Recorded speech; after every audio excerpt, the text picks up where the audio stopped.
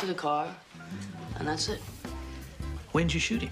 Firefighter said that you said, I hit him, I hit him, I hit him. What? At what point did you shoot the clerk? I shot the clerk. Yes, when did you shoot him? I shot the clerk. I said I hit him. Hey, Dean, we need you out here? I'm in the middle of a damn confession here.